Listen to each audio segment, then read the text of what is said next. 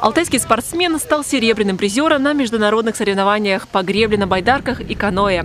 Турнир прошел в минувшие выходные на Московском гребном канале. Участие в нем приняли больше 350 спортсменов из Испании, Португалии, Литвы, Белоруссии, Латвии, Казахстана, Узбекистана, Молдавии и России. Алтайский спортсмен Кирилл Липунов завоевал серебро турнира. Он совместно с тремя спортсменами финишировал вторым в финальном заезде байдарок-четверок на дистанции 500 метров. Напомним, 21 и 22 сентября международные соревнования по гребле на байдарках и каноэ примет и Барнаульский гребной канал. За чемпионский титул сразятся около 50 титулованных гребцов из 25 стран мира.